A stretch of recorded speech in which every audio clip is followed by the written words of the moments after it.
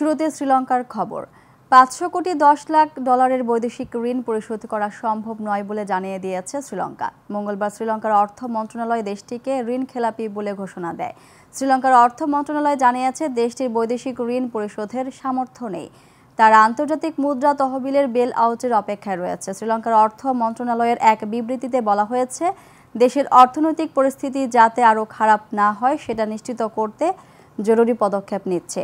ঋণদাতারা পাওনা মূলধনের সঙ্গে সুদ যোগ করে দিতে পারে, অথবা শ্রীলঙ্কার রুপিতে পাওনা অর্থ আদায় করতে পারে।